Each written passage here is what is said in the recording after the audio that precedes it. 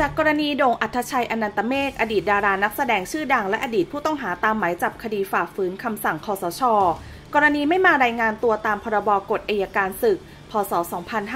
2557 หนึ่งในผู้ลี้ภัยทางการเมืองที่ไปอยู่ต่างประเทศหลายประเทศ อาทิเดนมาร์กกัมพูชา หลังคสชทำการรัฐประหารปี 2557 ได้เผยแพร่ข้อความผ่านเฟซบุ๊กส่วนตัว อรรถชัยอนันตเมฆเมื่อวันที่ 18 มิถุนายนที่ผ่านมาว่า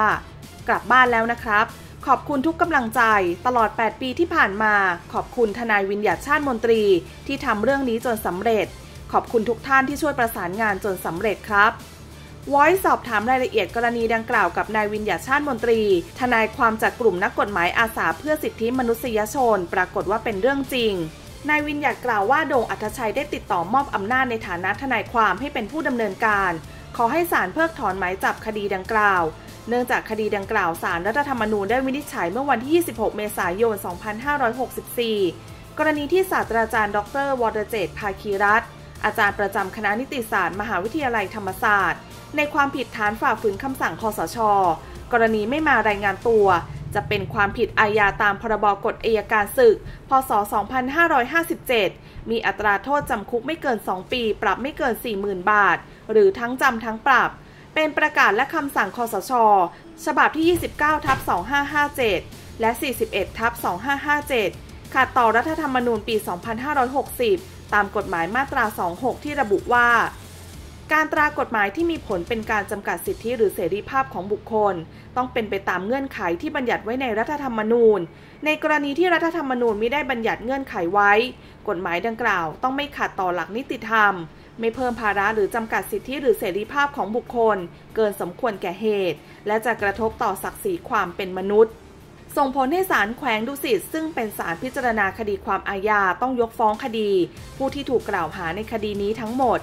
นายวินยาดกล่าวด้วยว่าตนได้เอาคำวินิจฉัยดังกล่าว ก็คือคำวินิจฉัยที่ 30ทับ2563 มาเป็นแนวทาง และทำการแนบเอกสารคำวินิจฉัยดังกล่าว ให้ศาลแขวงดุสิตพิจารณา พร้อมเหตุผลประกอบว่า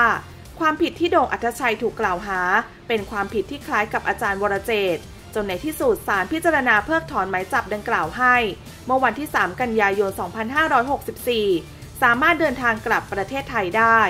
เมื่อถามว่าทำไมโด่งอัธชัยเพิ่งได้กลับถึงประเทศไทยช่วงเดือนมิถุนายน 2565 นายวินยัดกล่าวว่า เนื่องจากเจ้าตัวต้องดำเนินการในเรื่องหนังสือเดินทางทำเรื่องการเข้าประเทศ รวมถึงต้องเข้าประเทศตามเงื่อนไขของรัฐบาลไทย ในสถานการณ์การระบาดของโรคโควิด -19 จึงทำให้กำหนดการเดินทางกลับเป็นปี 2565 ส่วนที่ถามว่าผู้ลี้ภัยทางการเมืองคนอื่น ๆ จะมีโอกาสได้กลับประเทศไทยหรือไม่นั้น ต้องขึ้นอยู่กับว่า ผู้ลี้ภัยแต่ละคนมีคดีความทางอาญากี่คดี